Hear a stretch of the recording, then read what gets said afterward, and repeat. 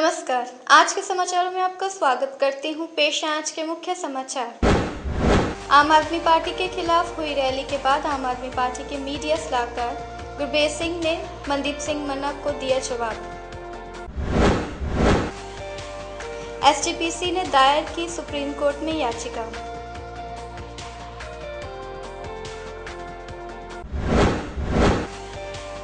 Bollywood film love शगुन की star cast हुई सचखंड श्री हरिमंदिर साहिब में नतमस्तक। अब खबरें विस्तार से। सातवीं पातशाही श्री गुरु हर राय जी के गुरतागद्दी दिवस को श्रोमणी गुरुद्वारा प्रबंधक कमेटी की ओर से वातावरण दिवस के रूप में मनाया जाता है। इसके अलावा वहीं नानक शाही कैलेंडर संवत 548 के पहले दिन को वातावरण दिवस के रूप में मनाया जाता है। पिछले साल भी वातावरण दिवस के मौके पर श्रोमणी कमेटी की तरफ़ से सचखंड श्री हरिमंदिर साहिब परिसर में पौधे लगाए गए थे और इस बार भी। इस अवसर पर सिख समुदाय को बधाई देते हुए श्री अकाल तख्त साहिब के जत्थेदार ज्ञानी गुरबचन सिंह जी ने लोगों से अपील की है कि वह भी वातावरण की शुद्धि के लिए आसपास मोहल्लों, बगीचों, सड़कों पर अधिक से अधिक पौधे लगाएँ। ਸਰਬੱਤ ਖਾਲਸਾ, ਸਮੂਹ ਸੰਗਤਾਂ, ਦੇਸ਼ ਵਿਦੇਸ਼ ਦੀਆਂ ਸੰਗਤਾਂ ਨੂੰ ਬਹੁਤ ਹੀ ਸਤਿਕਾਰਯੋਗ ਭਗਤ ਪੰਨਾ ਜੀ ਦੇ 6ਵੀਂ ਸ਼ਤਾਬਦੀ ਜਨਮ ਦਿਹਾੜੇ ਦੀਆਂ ਬਹੁਤ ਬਹੁਤ ਮੁਬਾਰਕਾਂ। ਦਿੱਲੀ ਫਤਿਹ ਦਿਵਸ 12 13 ਤਰੀਕ ਨੂੰ ਦਿੱਲੀ ਸੇ ਗੁਰਦੁਆਰਾ ਪ੍ਰਬੰਧਕ ਕਮੇਟੀ ਵੱਲੋਂ ਮਨਾਇਆ ਜਾ ਰਿਹਾ ਹੈ। ਉਹਦੇ ਸੰਗਤਾਂ ਵੱਧ ਤੋਂ ਵੱਧ ਪਹੁੰਚਣ। ਔਰ ਤਖਤ ਸ੍ਰੀ ਕੇਸਗੜ੍ਹ ਸਾਹਿਬ ਵਿਖੇ ਖਾਲਸਾ ਦਾ ਸਿਰਜਣਾ ਦਿਵਸ ਉਹ ਮਨਾਉਣ ਤੋਂ ਪਹਿਲਾਂ ਜੋ ਹੋਲਾ ਮਹੱਲਾ ਹੈ, ਉਹ ਦਿਹਾੜੇ ਮਨਾਏ ਜਾ ਰਹੇ ਨੇ। ਸਮੂਹ ਸੰਗਤਾਂ ਇਹਨਾਂ ਦਿਹਾੜਿਆਂ ਤੇ ਪਹੁੰਚ ਕੇ ਗੁਰੂ ਦੀਆਂ ਅਸੀਸਾਂ ਪ੍ਰਾਪਤ ਕਰਨ, ਵਿਸ਼ੇਸ਼ ਕਰਕੇ ਜੋ ਮਿਸ਼ਨਰੀਜ਼ ਖੁਦਾਈ ਖੁਦ ਖਿਦਮਤਗਾਰ, ਉਹਨਾਂ ਵੱਲੋਂ ਇੱਕ ਸ੍ਰੀ ਅਕਾਲ ਤਖਤ ਸਾਹਿਬ ਦੇ ਉੱਤੇ ਲੈ ਕੇ ਆਂਦਾ ਗਿਆ ਸੀ ਵਿਚਾਰ। ਕਿ ਜੋ ਸਾਹਿਬ ਸ੍ਰੀ ਗੁਰੂ ਹਰ, ਗੁਰੂ ਹਰਰਾਜ ਸਾਹਿਬ ਜੀ ਗੁਰਤਾ ਗੱਦੀ ਜਿਨ੍ਹਾਂ ਦੀ ਉਸ ਸਮੇਂ 14/3/1644 ਨੂੰ ਸੀ ਤੇ ਸਾਹਿਬ ਸ੍ਰੀ ਗੁਰੂ ਹਰਗੋ ਹਰਰਾਜ ਸਾਹਿਬ ਜੀ ਗੁਰਤਾ ਗੱਦੀ ਤੇ ਸੁਸ਼ੋਭਤਮਾਨ ਹੁੰਦੇ ਆ ਉਸੇ ਵੇਲੇ ਹੀ ਉਹਨਾਂ ਨੇ ਕੀਰਤਪੁਰ ਸਾਹਿਬ ਦੇ ਵਿੱਚ ਬਹੁਤ ਹੀ ਸੁੰਦਰ ਬਾਗ ਲਗਾਇਆ, ਜਿਸ ਦੇ ਵਿੱਚ ਬਹੁਤ ਕੀਮਤੀ ਬੂਟੇ ਲਗਾਏ ਗਏ। ਤੇ ਪੰਜ ਸਿੰਘ ਸਹਿਬਾਨਾਂ ਵੱਲੋਂ 2012 ਵਿੱਚ ਇਹ ਫੈਸਲਾ ਕੀਤਾ ਗਿਆ ਕਿ ਸਤਿਗੁਰੂ ਗੁਰੂ ਹਰਰਾਜ ਸਾਹਿਬ ਜੀ ਉਹਨਾਂ ਨੂੰ ਸਮਰਪਿਤ ਹਰ ਸਾਲ 14 ਮਾਰਚ ਨੂੰ ਇਹ ਵਾਤਾਵਰਣ ਦਿਵਸ ਦੇ ਸਬੰਧ ਵਿੱਚ ਇਹ ਦਿਹਾੜਾ ਮਨਾਇਆ ਜਾਇਆ ਕਰੇਗਾ। ਇਸ ਲਈ ਕੱਲ ਬੇਨਤੀ ਕੀਤੀ ਗਈ ਸੀ ਚਰਨਾਂ ਨੂੰ ਕਿ ਇਹ ਜੋ ਸਤਿਗੁਰਾਂ ਦਾ ਗੁਰਤਾ ਗੱਦੀ ਪੁਰਬ ਇਸ ਵਾਰੀ 5 ਆਪਣੇ ਅਪ੍ਰੈਲ ਨੂੰ ਆ ਰਿਹਾ ਹੈ। ਉਸੇ ਗੁਰਪੁਰਬ ਦੇ ਸਬੰਧ ਵਿੱਚ ਸਤਿਗੁਰਾਂ ਨੂੰ ਸਮਰਪਿਤ ਹੋ ਕੇ ਇਹ ਵਾਤਾਵਰਣ ਦਿਵਸ ਹਰ ਸਾਲ ਹੀ 14 ਮਾਰਚ ਨੂੰ ਮਨਾਇਆ ਜਾਂਦਾ ਹੈ। ਇਸ ਵਾਰੀ ਵੀ ਸੰਗਤਾਂ ਨੇ ਮਨਾਉਣਾ ਹੈ। ਪਰ ਇਹ ਕੇਵਲ ਅਸੀਂ ਬੂਟੇ ਲਗਾ ਕੇ ਹੀ ਨਹੀਂ ਮਨਾਉਣਾ। ਸਗੋਂ ਆਪਣੀ ਘਰ ਦੇ ਤੋਂ ਲੈ ਕੇ ਗਲੀ, ਮਹੱਲਾ, ਸ਼ਹਿਰ ਔਰ ਸੂਬਾ ਤੇ ਸਾਡਾ ਦੇਸ਼ ਸਾਰੇ ਨੂੰ ਸਵੱਛ ਬਣਾਉਣ ਵਾਸਤੇ ਸਾਨੂੰ ਯੋਗਦਾਨ ਪਾਉਣਾ ਚਾਹੀਦਾ ਹੈ ਆਪਣੇ ਗਲੇ ਮਹੱਲੇ ਦੀਆਂ ਸਫਾਈ ਰੱਖਣੀ ਚਾਹੀਦੀ ਹੈ ਇਸੇ ਤਰ੍ਹਾਂ ਆਪਣੇ ਬੱਚਿਆਂ ਨੂੰ ਚੰਗੀ ਤੋਂ ਚੰਗੀ ਵਿੱਦਿਆ ਦੇਣੀ ਚਾਹੀਦੀ ਹੈ ਜਿਸ ਕਰਕੇ ਉਹ ਚੰਗੇ ਅਹੁਦਿਆਂ ਦੇ ਉੱਤੇ ਬੈਠ ਕੇ ਸਿੱਖੀ ਦਾ ਰੋਲ ਮਾਡਲ ਬਣ ਔਰ ਸਿੱਖ ਜੋ ਸਾਡੀ ਇੱਕ ਖਰੀ ਕੌਮ ਹੈ ਇਸ ਦੀ ਪਛਾਣ ਆਪਣੇ ਆਪ ਹੀ ਸੰਗਤਾਂ ਵਿੱਚ ਜਾਵੇਗੀ पाकिस्तान ने सतासी कैदियों को रिहा कर भारत भेज दिया है भारत पहुंचने पर इन मछुआरों ने जहां चैन की सांस ली वहीं अपने वतन की धरती पर पहुँचते ही मछुआरों ने धरती माँ को चूमकर नमन किया। कैदियों का कहना है कि दोनों देशों के रिश्तों में सुधार आना चाहिए। उन्होंने दोनों मुल्कों की सरकारों से मांग की है कि वह अपने अपने मुल्क के समुद्र की सीमा में रोज़गार की तलाश में घुस आने वाले मछुआरों को तुरंत रिहा कर दें, ताकि उन जैसे गरीब लोगों को बिना वजह अपने जीवन के कीमती पल जेलों में ना बिताने पड़े। समुद्र में तो कोई पता नहीं चलता है। और तीसरा महीना का सात तारीख को पकड़ा था 2015 में। अभी एक साल हो गया बाद में इधर अपना वतन पासा आ गया। कौन सी जेल में थे? लांडी कराची लांडी जेल में था। पालड़ी। और पोरबंदर धंधो करने जाते हैं मछली का। फिर पता तो समुद्र में को नहीं सकता है चलता है। और इसका दरिया है का अपन का है। तो कोई पता नहीं चलते अभी अपना बंदा है अट्ठारह बंदा इधर है, पाकिस्तान के लांडी जेल में। इसका नाम भी नहीं आते।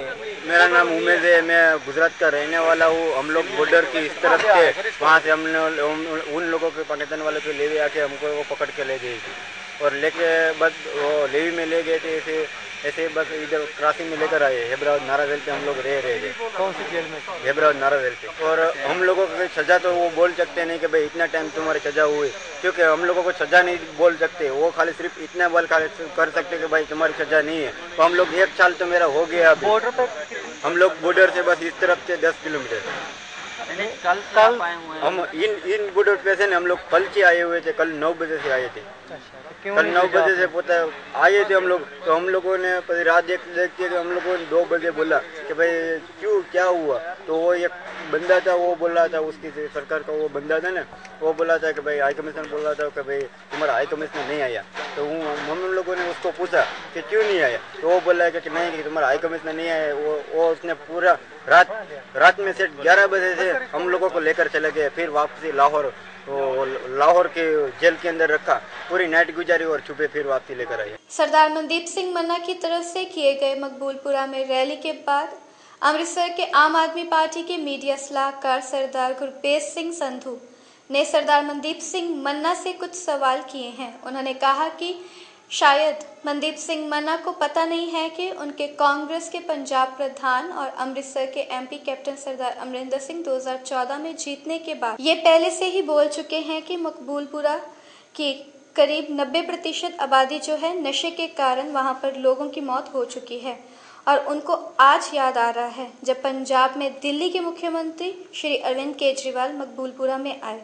साथ ही उन्होंने कहा कि सियासी रोटियाँ सेकने के लिए उन्हें इस तरह की रैलियां नहीं करनी चाहिए ਇਹ ਇਹ ਤਾਂ ਮੈਂ ਸਮਝਦਾ ਕਿ ਇਹ ਜਾਂ ਤਾਂ ਇਹਨਾਂ ਦੀ ਇਹ ਝੂਠ ਬੋਲਦੇ ਆ ਸਰਾਸਰ ਤੇ ਜਾਂ ਇਹਨਾਂ ਵਿਚਾਰਿਆਂ ਦੀ ਨਾ ਲੈਕ ਆਫ ਜਨਰਲ ਨੌਲੇਜ ਇਹਨਾਂ ਨੂੰ ਸਮਝ ਘੱਟ ਹੈਗੀ ਹੈ ਇਹਨਾਂ ਨੇ ਪਿਛਲੀਆਂ ਅਖਬਾਰਾਂ ਨਹੀਂ ਪੜ੍ਹੀਆਂ ਹੈਗੀਆਂ ਇਹਨਾਂ ਨੇ ਆਪਣੇ ਲੀਡਰਾਂ ਦੇ ਬਿਆਨ ਨਹੀਂ ਸੁਣੇ ਹੈਗੇ ਤਾਂ ਕਰਕੇ ਇਹੋ ਜਿਹੀਆਂ ਬੇਤੁਕੀਆਂ ਚੀਜ਼ਾਂ ਕਰਨ ਦੇ ਨੇ ਜਿਹੜੀਆਂ ਸਵੈ ਸਮ- ਸਨਮਾਨ ਰੈਲੀ ਇਹਨਾਂ ਨੇ ਕੀਤੀ ਹੈ ਉਹ ਉਹ ਉਹਦੇ 'ਚ ਇਹਨਾਂ ਨੇ ਇਹ ਇਲਜ਼ਾਮ ਲਾਇਆ ਹੈ ਕਿ ਵੀ ਕੇਜਰੀਵਾਲ ਸਾਹਿਬ ਨੇ ਆ ਕੇ ਤੇ ਇਹ ਨਸ਼ੇ ਦਾ ਮੁੱਦਾ ਚੁੱਕ ਕੇ ਤੇ ਇਸ ਵੇ ਇਲਾਕੇ ਨੂੰ ਬਦਨਾਮ ਕਰਤਾ ਮੈਂ ਤੁਹਾਡੇ ਰਾਹੀਂ ਇਹਨਾਂ ਦੇ ਧਿਆਨ 'ਚ ਲਿਆਉਣਾ ਚਾਹੁੰਦਾ ਹਾਂ ਕਿ ਦੋ- ਅਹ 2014 ਦੇ ਵਿੱਚ ਜਦੋਂ ਕੈਪਟਨ ਅਮਰਿੰਦਰ ਸਿੰਘ ਜੀ ਅੰਮ੍ਰਿਤਸਰ ਤੋਂ ਐਮਪੀ ਚੁਣੇ ਗਏ ਸਨ, ਉਦੋਂ ਇਹਨਾਂ ਨੇ 11 6 2014 ਨੂੰ ਲੋਕ ਸਭਾ ਦੇ ਵਿੱਚ ਸਪੀਚ ਦਿੰਦੇ ਹੋਏ ਆ, ਜਦੋਂ ਪੰਜਾਬ ਦੇ ਵਿੱਚ ਨਸ਼ੇ ਦੀ ਜਿਹੜੇ ਹਾਲਾਤ ਹੈਗੇ ਆ, ਉਹਦੇ ਵੱਲ ਉਹਨਾਂ ਦਾ ਧਿਆਨ ਕੇਂਦਰਿਤ ਕਰਨ ਲਈ ਆਪਣੀ ਸਪੀਚ ਦਿੱਤੀ ਸੀ। ਉਹਦੇ ਵਿੱਚ ਉਹਨਾਂ ਨੇ ਖਾਸ ਕਰਕੇ ਮਕਬੂਲਪੁਰੇ ਦੀ ਐਗਜ਼ਾਮਪਲ ਦਿੱਤੀ ਸੀ, ਜਿਹਦੇ ਵਿੱਚ ਉਹਨਾਂ ਨੇ ਕਿਹਾ, ਔਰ ਉਹ ਰਿਕਾਰਡ ਦੇ ਵਿੱਚ ਹੈਗਾ। ਇਹ 90% ਉੱਥੋਂ ਦੇ ਜਿਹੜੇ ਲੋਕੀ ਆ ਮਰ ਚੁੱਕੇ ਨੇ ਨਸ਼ੇ ਦੇ ਕਰਕੇ ਔਰ 10% ਜਿਹੜੇ ਹੈਗੇ ਆ ਉਹ ਮਰਨ ਵਾਲੇ ਨੇ। ਇਹ ਲੋਕ ਸਭਾ ਦੇ ਜਿਹੜਾ ਸਿਨੋਪਸਿਸ ਆਫ ਡਿਬੇਟਸ ਹੁੰਦਾ, ਉਹਦੇ ਵਿੱਚ ਦਰਜ ਹੈ, ਕੋਈ ਵੀ ਉੱਥੇ ਗੂਗਲ 'ਚ ਸਰਚ ਕਰਕੇ ਉੱਥੋਂ ਦੇਖ ਸਕਦਾ। 25ਵੇਂ ਪੇਜ ਉੱਤੇ ਦਰਜ ਹੈ। ਦੂਸਰਾ, ਇਹ ਇਹਨਾਂ ਦਾ ਸਵੈਮਾਨ ਤੇ ਅਣਖ ਉਸ ਵੇਲੇ ਕਿੱਥੇ ਸੀ ਜਦੋਂ ਇਹਨਾਂ ਦੇ ਰਾਹੁਲ ਗਾਂਧੀ ਨੇ ਆ ਕੇ ਕਹਿਤਾ ਸੀ ਕਿ 70% ਪੰਜਾਬੀ ਜਿਹੜੇ ਉਹ ਨਸ਼ੇ ਦੇ ਨੇ, ਕਿ ਉਸ ਵੇਲੇ ਇਹਨਾਂ ਨੇ ਪੂਰੇ ਪੰਜਾਬ ਨੂੰ ਲੇਬਲ ਨਹੀਂ ਕਰ ਦਿੱਤਾ। ਅਗਰ ਕੇਜਰੀਵਾਲ ਸਾਹਿਬ ਇੱਥੇ ਆਉਂਦੇ ਨੇ, ਆ ਕੇ ਮੌਜੂਦਾ ਹਾਲਾਤ ਦੇਖਦੇ ਨੇ ਗਰਾਊਂਡ ਲੈਵਲ ਤੇ ਰਿਐਲਿਟੀਜ਼ ਕੀ ਹੈਗੀਆਂ ਨੇ ਤੇ ਉਹਦਾ ਇਹਨਾਂ ਉਹਦੇ ਉੱਤੇ ਰਾਜਨੀਤੀ ਕਰਨਾ ਮੈਂ ਸਮਝਦਾ ਕਿ ਬਹੁਤ ਗਲਤ ਹੈਗਾ, ਕਿਉਂਕਿ ਉਹਨਾਂ ਦਾ ਇੱਥੇ ਆਉਣਾ, ਕੋਈ ਰਾਜਨੀਤੀ ਲਾਹਾ ਲੈਣ ਦਾ ਕੋਈ ਮਕਸਦ ਨਹੀਂ ਹੈਗਾ, ਕਿਉਂਕਿ 2017 ਦੇ ਵਿੱਚ ਸਾਨੂੰ ਪਤਾ ਹੈ, ਆਮ ਆਦਮੀ ਪਾਰਟੀ ਦੀ ਜਿੱਤ ਤੈਅ ਹੈ ਪਰ ਉਹਦੇ ਨਾਲ ਨਾਲ ਸਾਨੂੰ ਇਹ ਵੀ ਪਤਾ ਹੈ ਕਿ ਜੇ ਆਮ ਆਦਮੀ ਪਾਰਟੀ ਦੀ ਸਰਕਾਰ ਬਣਦੀ ਹੈ, ਤੇ ਸਭ ਤੋਂ ਵੱਡਾ ਜਿਹੜਾ ਮੁੱਦਾ ਹੈ, ਉਹ ਨਸ਼ੇ ਦਾ ਹੈ। ਆਪਾਂ ਇਸ ਵੇਲੇ ਗੱਲ ਤਾਂ ਕਰਦੇ ਹਾਂ ਕਿ ਨਸ਼ਾ ਬਹੁਤ ਵੱਡਾ ਮੁੱਦਾ ਹੈ ਪਰ ਉਹਦਾ ਹੱਲ ਕੀ ਹੈ? ਸੋ ਇਹ ਜਿੰਨੀਆਂ ਫੇਰੀਆਂ ਹੋ ਰਹੀਆਂ ਨੇ ਅਸੀਂ ਗਰਾਊਂਡ ਰਿਐਲਿਟੀਜ਼ ਦੇਖ ਕੇ ਜੋ ਵੀ ਜ਼ਮੀਨੀ ਪੱਧਰ ਉੱਤੇ ਹੋ ਸਕਦਾ ਮਤਲਬ ਠੋਸ ਨੀਤੀ ਬਣਾਵਾਂਗੇ ਤਾਂ ਜੋ ਪੰਜਾਬ ਦੇ ਨੌਜਵਾਨਾਂ ਨੂੰ ਇੱਥੋਂ ਨਸ਼ੇ ਤੋਂ ਬਾਹਰ ਕੱਢ ਕੇ ਉਹਨਾਂ ਨੂੰ ਰੋਜ਼ਗਾਰ ਵੀ ਦਈਏ। ਤੇ ਜਿਹੜੀਆਂ ਫੈਮਲੀਆਂ ਅਫੈਕਟਡ ਨੇ ਉਹਨਾਂ ਦੀਆਂ ਉਹਨਾਂ ਵਾਸਤੇ ਵੀ ਕੋਈ ਉਹਨਾਂ ਨੂੰ ਅਹ, ਰੋਜ਼ਗਾਰ ਦੇ ਪ੍ਰਬੰਧ ਕਰਕੇ ਦਈਏ ਜਾਂ ਕੁਝ ਵੀ ਜੋ ਉਹਨਾਂ ਵਾਸਤੇ ਕੀਤਾ ਜਾ ਸਕਦਾ ਉਹ ਕਰੀਏ। ਸੋ ਮੈਂ ਸਮਝਦਾ ਹਾਂ ਕਿ ਇਹਨਾਂ ਨੂੰ ਇਹ ਬੇਤੁਕੀ ਬਿਆਨਬਾਜ਼ੀ ਐਵੇਂ ਰੈਲੀਆਂ ਕਰਨ ਦੀ ਬਜਾਏ ਇਹ ਲੋਕਾਂ 'ਚ ਆਉਣ ਲੋਕਾਂ ਦੀਆਂ ਅਹ, ਜਿਹੜੀਆਂ ਮੁਸ਼ਕਲਾਂ ਉਹ ਸੁਣਨ ਤੇ ਜਿਹੜੇ ਮਨਦੀਪ ਸਿੰਘ ਮੰਨਾ ਨੇ ਇਹ ਤਾਂ ਰਹੇ ਇੱਥੇ ਅੰਮ੍ਰਿਤਸਰ ਨੇ ਅੱਜ ਤੋਂ ਪਹਿਲਾਂ ਇੱਕ ਇਹ ਇਹਨਾਂ ਨੂੰ ਇਹਨਾਂ ਦੀ ਯਾਦ ਨਹੀਂ ਆਈ ਮਕਬੂਲਪੁਰਾ एसटीपीसी की वेबसाइट पर सिख संगठनों की ओर से बुद्धिजीवियों पर हो रहे मजाक के संदर्भ में कई शिकायतें मिली थी। इन्हीं शिकायतों के आधार पर श्रोमणी गुरुद्वारा प्रबंधक कमेटी ने सिखों पर बनाए जाने वाले भद्दे चुटकुलों के विरुद्ध सुप्रीम कोर्ट में याचिका दायर की है। एसटीपीसी के मुख्य सचिव सरदार हरचरण सिंह ने बताया कि एसटीपीसी की वेबसाइट पर सिख संगठनों और सिख बुद्धिजीवियों पर हो रहे मज़ाक के संदर्भ में कई शिकायतें मिली थी। इन्हीं शिकायतों के आधार पर एसटीपीसी ने ये कदम उठाया है। उन्होंने कहा कि सिख कौम एक बहादुर कौम है। इस बहादुर कौम ने देश की आज़ादी के लिए सबसे ज़्यादा कुर्बानियां दी हैं और इन पर बनाए जाने वाले भद्दे चुटकुलों के पात्र नहीं बनने चाहिए ਇਸ ਤਰ੍ਹਾਂ ਪਿਛਲੇਰੇ ਸਮੇਂ ਤੋਂ ਨਾ ਅਹ ਸਿੱਖਾਂ ਉਤੇ ਬੜੇ ਜੋਕਸ ਹੁੰਦੇ ਪਏ ਨੇ ਜੀ ਕੋਈ ਸੰਤਾ ਬੰਤਾ ਦੇ ਹੁੰਦੇ ਪਏ ਕੁਝ ਇਹੋ ਜਿਹੀਆਂ ਸਾਈਟਸ ਵੀ ਹੈਗੀਆਂ ਇੱਥੇ ਸਿੱਖਾਂ ਨੂੰ ਕੋਈ ਥੋੜਾ ਬੈਡ ਲਾਈਟ ਹੀ ਦਿਖਾਉਂਦਾ ਜਾਂਦਾ ਹੈਗਾ ਉਹਨਾਂ ਨੂੰ ਮਜ਼ਾਕ ਦਾ ਪਾਤਰ ਬਣਾਇਆ ਜਾਂਦਾ ਹੈਗਾ ਇਹਦੇ ਬਾਰੇ ਇੱਕ ਰਿਟ ਪਾਈ ਸੀ ਇੱਕ ਇੱਕ ਵਕੀਲ ਹੈਗੀ ਬੀਬੀ ਹਰਵਿੰਦਰ ਕੌਰ ਚੌਧਰੀ ਨੇ ਰਿਟ ਪਾਈ ਸੀ ਜਿਸ ਨੂੰ ਦਿੱਲੀ ਗੁਰਦੁਆਰਾ ਪ੍ਰਬੰਧਕ ਕਮੇਟੀ ਨੇ ਅਡਾਪਟ ਕੀਤਾ। ਸ਼੍ਰੋਮਣੀ ਗੁਰਦੁਆਰਾ ਪ੍ਰਬੰਧਕ ਕਮੇਟੀ ਨੇ ਵੀ ਆਪਣੇ ਅੰਤਰਿਮ ਕਮੇਟੀ ਜਿਹਦੇ ਬਾਰੇ ਫੈਸਲਾ ਕਰਕੇ ਕਿਹਾ ਕਿ ਅਸੀਂ ਦੇ ਬਾਰੇ ਵੀ ਯੋਗ ਕਰਵਾਈ ਕਰਾਂਗੇ। ਤੇ ਜਿਹੜੀ ਇਹ ਐਡਵੋਕੇਟ ਸਾਹਿਬ ਹੈ, ਇਹ ਸਾਡੇ ਕੋਲ ਇੱਥੇ ਆਏ ਤੇ ਉਹਨਾਂ ਨੂੰ ਇਸ ਮੁਤਲਕ, ਸਿੱਖੀ ਮੁਤਲਕ ਕੁਝ ਮਟੀਰੀਅਲ ਚਾਹੀਦਾ ਸੀ। ਅਸੀਂ ਉਹਨਾਂ ਨੂੰ ਸਾਰਾ ਮਟੀਰੀਅਲ ਦਿੱਤਾ ਤਾਂ ਕਿ ਉਹ ਮਾਨਯੋਗ ਜੱਜ ਸਾਹਿਬਾਨਾਂ ਨੂੰ ਦੇ ਸਕਣ। ਉਹਨਾਂ ਨੇ ਸਾਨੂੰ ਬੜਾ ਧੰਨਵਾਦ ਕੀਤਾ ਸਾਡੀ ਇਸ ਗੱਲ ਦਾ, ਸਾਡੀ ਸਪੋਰਟ ਦਾ। ਪ੍ਰਧਾਨ ਸਾਹਿਬ ਨੇ ਹੁਣ ਦਿੱਤੀ ਹੈ ਕਿ ਅਸੀਂ ਰਿਟ ਦੇ ਵਿੱਚ ਇੱਕ ਵਕੀਲ ਸਾਹਿਬ ਕਰਕੇ ਅਸੀਂ ਵੀ ਉਸ ਰਿਟ ਨਾਲ ਜੁਆਇਨ ਕੀਤਾ ਅਸੀਂ ਵੀ ਰਿਟ ਪਾਈ ਹੈ। ਸਿੱਖ ਬੜੀ ਬਹਾਦਰ ਕੌਮ ਹੈ, ਅਸੀਂ ਕਦੀ ਨਹੀਂ ਚਾਹੁੰਦੇ ਕਿ ਸਾਡਾ ਕੋਈ ਮਜ਼ਾਕ ਉਡਾਵੇ। ਸਾਡੀ ਇਸ ਬਹਾਦਰੀ ਜੇ ਕੋਈ ਤਾਰੀਫ ਤੇ ਤਰਦੀਦ ਨਹੀਂ ਕਰ ਸਕਦਾ ਤੇ ਕਮ ਸੇ ਕਮ ਅਸੀਂ ਮਖੌਲ ਦੇ ਪਾਤਰ ਨਹੀਂ ਬਣਨੇ ਚਾਹੀਦੇ।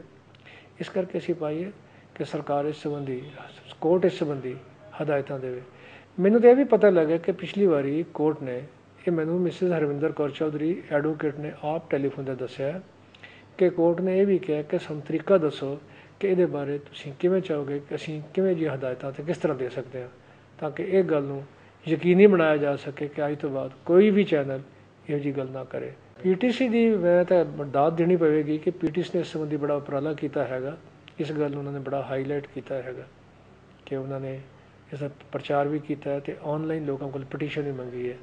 ਤੇ ਪੀਟੀਸੀ ਤੇ ਬਿਲਕੁਲ ਇਸ ਗੱਲ ਦਾ ਬਹੁਤ ਅਹਿਮ ਰੋਲ ਹੈ ਤੇ ਜਿਹਦਾ ਰਿਣੀ ਅਸੀਂ ਸੱਚੀ ਪੁੱਛਿਆ ਜੇ ਤਾਂ पंजाब सरकार द्वारा शुरू किए गए दो दिवसीय राज्य स्तरीय ग्रामीण खेल मेले का आयोजन गांव मानावाल के नजदीक चंडियाला गुरु में बड़ी ही धूमधाम से संपन्न हुआ इस मौके पर गांव के शामपुरा के सरपंच सरदार मलकीत सिंह ने पत्रकारों से बातचीत करते हुए बताया कि उनके लिए ये बड़े ही मान की बात है कि पंजाब सरकार के मुख्यमंत्री सरदार प्रकाश सिंह बादल और उप मुख्यमंत्री सरदार सुखबीर सिंह बादल द्वारा जो ये प्रयास किया गया है वह सराहना योग है इस मौके पर Sardar Sarabjit Singh sarpanch Pariwal Sardar Amrik Singh Sardar Amrik Singh Bitta BDO madam Zeenat Khaira DDPO Sardar Rajendra Singh Sardar Rajendra Singh sarpanch Ravi Shyamnagar Kuldeep Singh Kalu आदि उपस्थित थे ਯੂਥ ਅਕਾਲੀ ਦਲ ਬਾਦਲ ਮੈਂ ਆਪਣੇ ਵੱਲੋਂ ਧੰਨਵਾਦ ਕਰਦਾ ਪੰਜਾਬ ਸਰਕਾਰ ਦਾ ਸਰਦਾਰ ਪ੍ਰਕਾਸ਼ ਸਿੰਘ ਜੀ ਬਾਦਲ, ਸਰਦਾਰ ਸੁਖਬੀਰ ਸਿੰਘ ਜੀ ਬਾਦਲ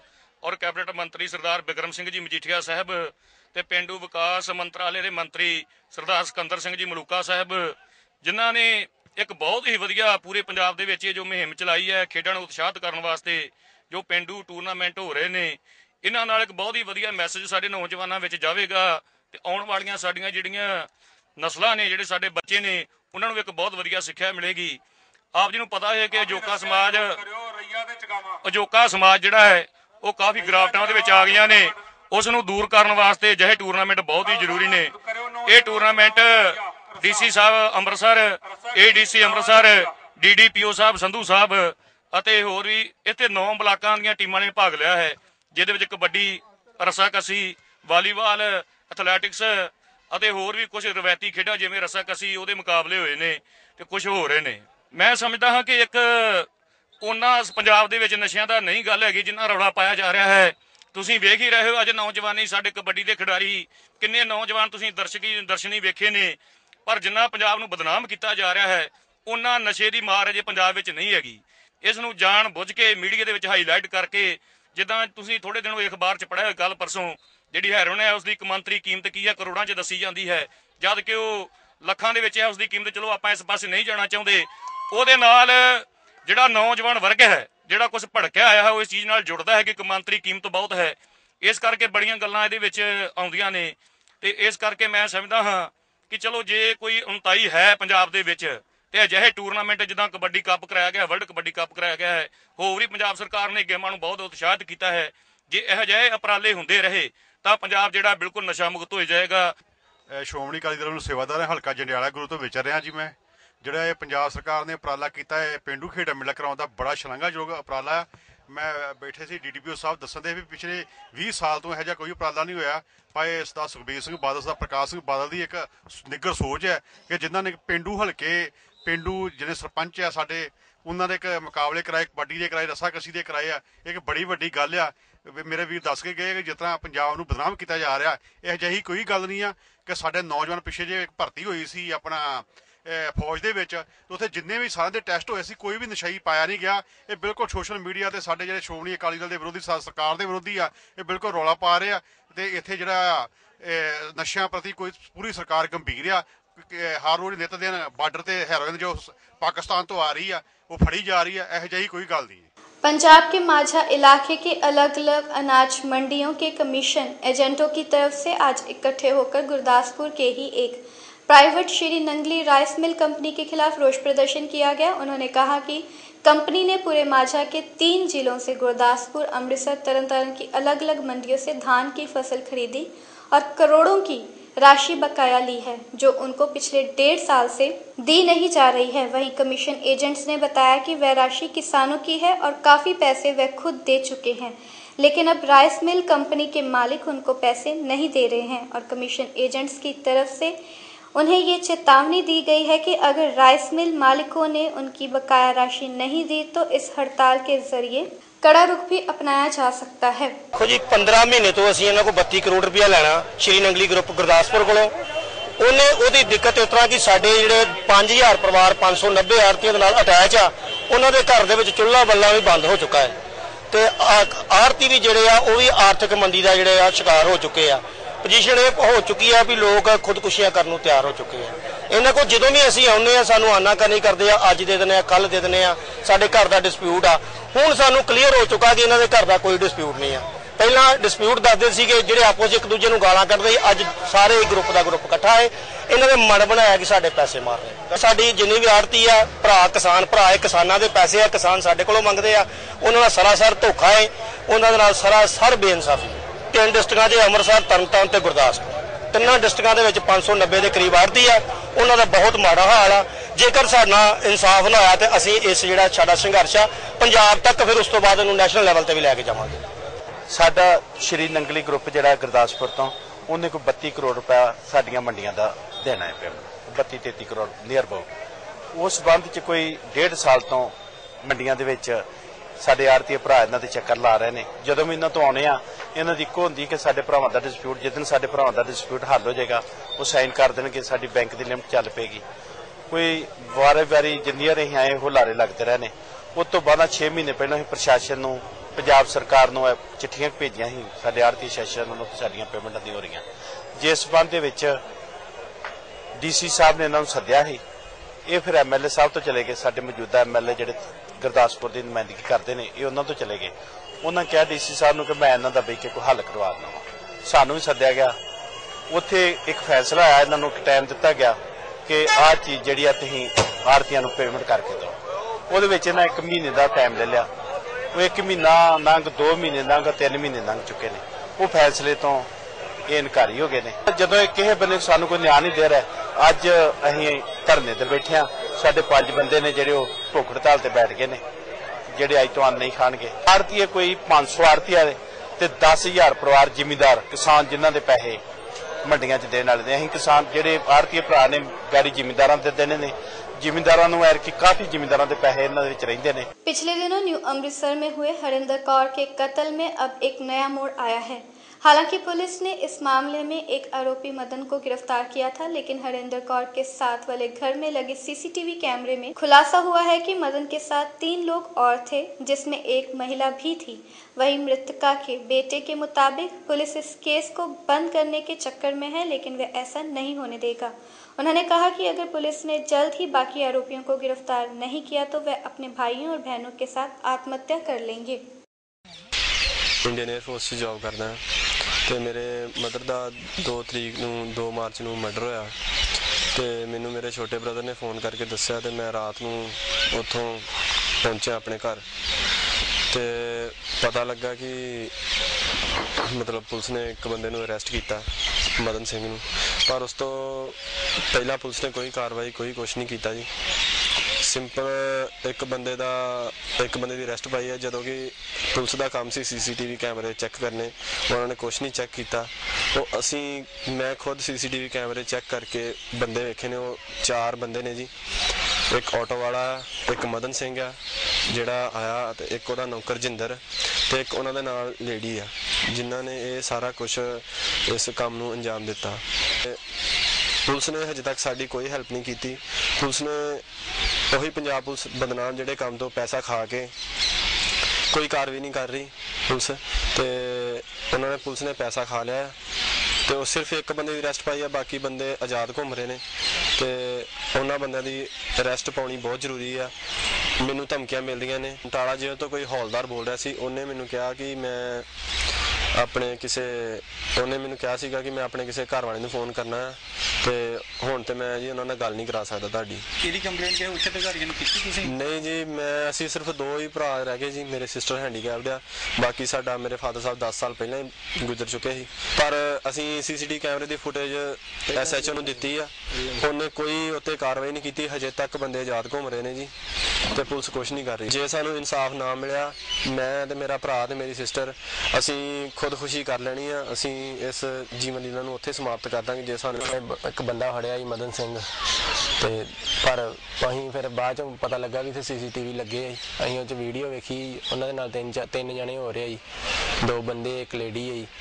ਤੇ ਪੁਲਿਸ ਨੂੰ ਉਹਦੀ ਫੁਟੇਜ ਵੀ ਦੇ ਗਏ ਕੱਲ ਦੀ, ਤੇ ਪਰ ਉਹਨਾਂ ਨੇ ਕੋਈ ਕਾਰਵਾਈ ਨਹੀਂ ਕੀਤੀ ਪੁਲਿਸ ਨੂੰ ਗਏ ਅੱਗੋਂ ਸਾਨੂੰ ਸੁਣਾਈ ਜਾਂਦੇ ਵੀ ਸਾਡੇ ਪੈਸੇ ਲੱਗ ਗਏ 5000 ਰੁਪਏ ਲੱਗ ਗਿਆ ਦੋਵਾਂ ਦਿਨਾਂ 'ਚ ਅਸੀਂ ਕਰਨ ਦੇ ਤੁਸੀਂ ਬੱਚੇ ਜੇ ਅਸੀਂ ਆਪਣਾ ਕੰਮ ਕਰਨ ਦੇ ਕੁਝ ਨਹੀਂ ਕਰਨ ਦੇ ਜੀ ਪਰ एक जनवरी की रात को पठानकोट के एयरबेस पर पाकिस्तानी आतंकियों ने हमला कर पूरे देश में दहशत फैलाने की कोशिश की थी परंतु हमारे देश के वीर सैनिकों ने अपनी जानों की परवाह किए बिना इन सभी आतंकियों को मौत के घाट उतार दिया था सुरक्षा बलों की जवाबी कार्रवाई में मारे गए इन सभी आतंकियों के शवों को पोस्टमार्टम के लिए पठानकोट के सिविल हॉस्पिटल में लाया गया था आज पूरे दो महीने बीत जाने के बाद भी आतंकियों के शव पठानकोट के सिविल हॉस्पिटल में ही पड़े हुए हैं।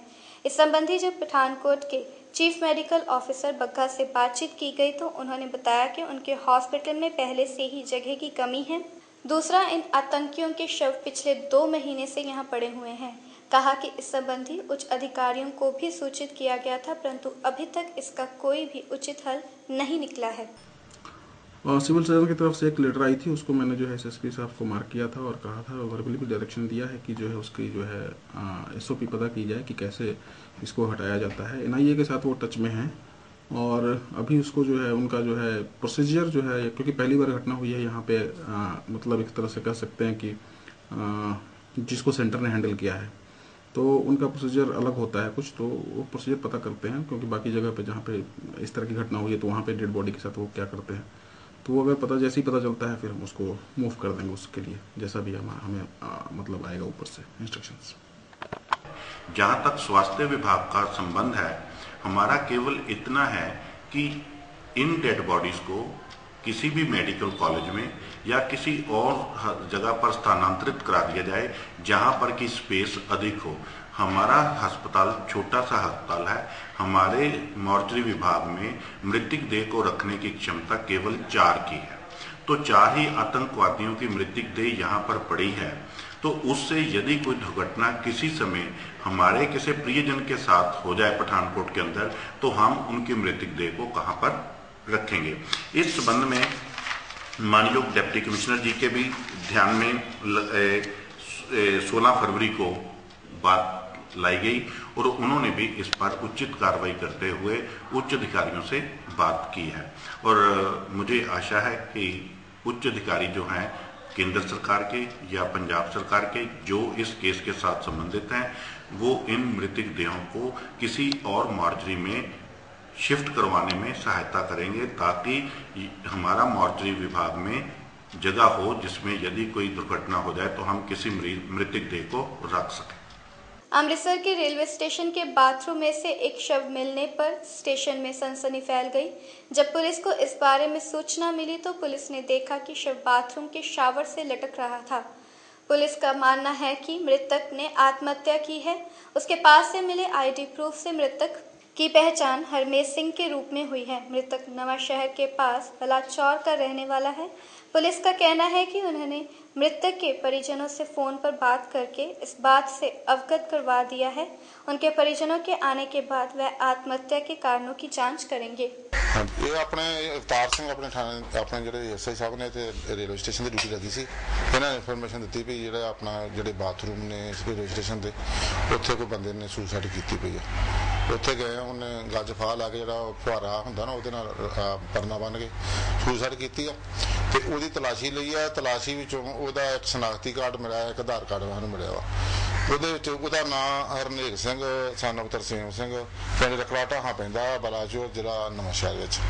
ਉੱਥੇ ਆਪਾਂ ਪਤਾ ਕਰਕੇ ਉੱਥੇ ਸਰਪੰਚ ਨਾਲ ਗੱਲ ਕੀਤੀ ਆ। ਇਸ ਗੁਰਦਿਆਲ ਸਿੰਘ ਸਰਪੰਚ ਨੇ ਉੱਥੋਂ ਦੇ, ਉਹਨਾਂ ਨੂੰ ਕੀਤਾ, ਉਹ ਆਂਦਾ ਵੀ ਸਾਡੇ ਪਿੰਡ ਦਾ ਬੰਦਾ ਤੇ ਅਸੀਂ ਵਾਰ ਸਾਨੂੰ ਨਾਲ ਲੈ ਕੇ ਆ ਰਿਹਾ। ग्यारह अप्रैल को रिलीज़ होने जा रही बॉलीवुड फ़िल्म लव शगुन की स्टार कास्ट। आज गुरुनगरी अमृतसर पहुँची और फ़िल्म की प्रमोशन शुरू करने से पहले सचखंड श्री हरिमंदिर साहिब में नतमस्तक होकर फ़िल्म की सफलता की अरदास की। इस मौके पर फ़िल्म में लीड रोल अदा कर रहे मानिक जोरा ने कहा कि वह इससे पहले हॉलीवुड में भी काम कर चुके हैं और अपने करियर की शुरुआत उन्होंने मॉडलिंग से की थी। इससे पहले वह कभी भी सचखंड श्री हरिमंदिर साहिब में नहीं आए। एक दफ़ा शूटिंग के दौरान सचखंड श्री हरिमंदिर साहिब के पास आए थे, तब उनकी ख्वाहिश थी कि यहाँ माथा टेकें और आज उनकी ये ख्वाहिश पूरी हुई है। यहाँ आकर उन्हें असीम शांति और खुशी प्राप्त हुई है। साथ ही उन्होंने लोगों से ये फ़िल्म देखने की अपील भी की।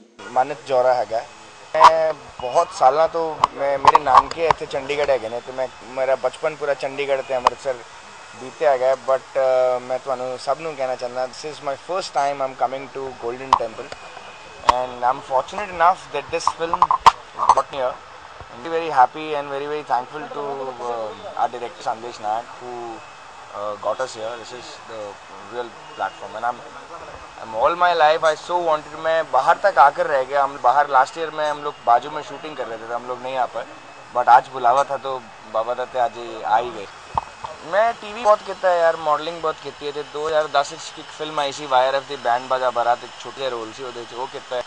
ਫਿਰ ਬਿਜੋਏ ਨਾਮਬਿਆਰ ਦੇ, ਬਿਜੋਏ ਨਾਮੇ ਜਿਹਨੇ ਵਜ਼ੀਰ ਬਣਾਈ ਹੈ ਹਾਲੇ, ਅਹ, ਤੇ ਉਹਨਾਂ ਦੇ ਨਾਲ ਇੱਕ ਫਿਲਮ ਕੀਤੀ ਸੀ ਰਸ਼। ਉਸ ਤੋਂ ਬਾਅਦ ਮੈਂ ਇੱਕ ਇੰਟਰਨੈਸ਼ਨਲ ਫਿਲਮ ਕੀਤੀ Michael Karen the the girl with the Indian emerald ਤੇ ਫਿਰ ਇੱਕ ਰਾਜੂ ਬ੍ਰਹਮਣਿਅਮ ਨਾਲ ਫਿਲਮ ਕੀਤੀ, ਤੇਰੇ ਮੇਰੇ ਦਰਮਿਆਨ। ਉਹ ਹਾਲੇ ਵੀ ਚੱਲ ਰਹੀ ਹੈ ਰੈਕੀ ਸ਼ੌਫ ਹੈਗੇ ਉਹਦੇ ਨਾਲ। ਫਿਰ ਭਾਜੀ ਨਾਲ ਫਿਲਮ ਕੀਤੀ ਹੈ। ਤੇ ਹੁਣ ਇੱਕ ਹੋਰ ਫਿਲਮ ਕਰ ਰਹੇ ਹਾਂ ਤੇ ਬਾਬਾ ਜੀ ਦੀ ਮਿਹਰ ਹੈ ਜੀ ਸਭ एक बार फिर नजर डालते हैं आज के मुख्य समाचारों पर आम आदमी पार्टी के खिलाफ हुई रैली के बाद आम आदमी पार्टी के मीडिया सलाहकार गुरबेज सिंह ने मनदीप सिंह मन्ना को दिया जवाब एसटीपीसी ने दायर की सुप्रीम कोर्ट में याचिका